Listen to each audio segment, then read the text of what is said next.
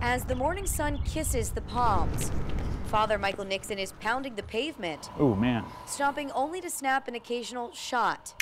You get surprised all over again how bad it still is. What started as a respite from storm recovery morphed into a way to help the community, I'll be sharing those updates with you guys uh, to raise awareness.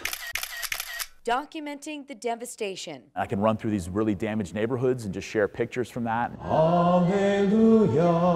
All before morning service, The gospel of the Lord. held not at a church itself for months, To stand and bring our prayers and our petitions before our loving God. but in this tent.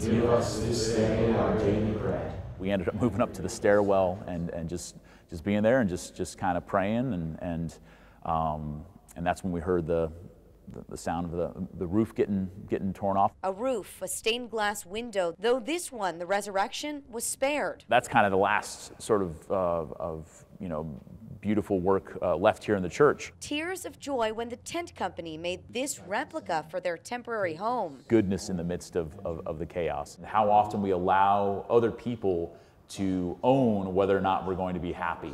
It might be years until their church is rebuilt. New focus for his sermons. All we had left was the mission. And um, in a sense, that's, that's all you really need. And with each step, training for a marathon, fundraising for Catholic charities to pour right back into Panama City. People say, you know, life's a marathon, it's not a sprint, and definitely rebuilding from a Category 5 hurricane is, is a marathon.